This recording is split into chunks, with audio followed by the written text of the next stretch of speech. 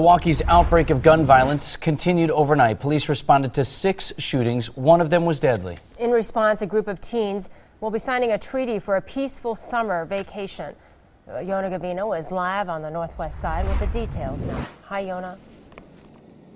Susan, as you know, it's been a violent few weeks here in Milwaukee with several homicides and even the shooting of a 10-year-old girl on a playground. Now, later today, teens will gather here at the Agape Community Center to rally against the violence they say doesn't need to be here.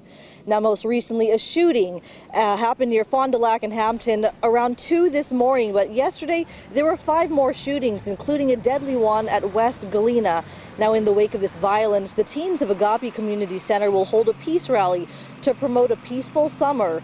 They say they're fed up with the violence and want it to end. Now, the peace rally includes guest speakers and poetry, as well as the unveiling of a peace mural. Now, the peace rally is from 5 to 6.30 here again at the Agape Community Center. Live here in Milwaukee, Yona Gavino, today's TMJ4. All right, Yona, thanks very much. More